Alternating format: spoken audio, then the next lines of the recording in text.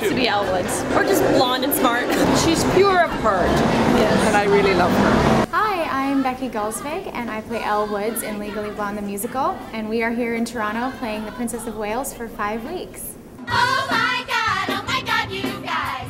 Looks like Elle's gonna win the prize. This is Roxie, thank you. And uh, she's the understudy in her fabulous Juicy Couture sweatshirt. How much did that cost? I don't want to know. No! No! Hand me my bag, bag, and that American flag. That was just totally awesome! Open and shut case, uh, Legally Blonde is a smash hit. Great. Love the dogs. Good girls night out. Still singing. Especially I like the, the dogs and the two game boys. It was, oh my god.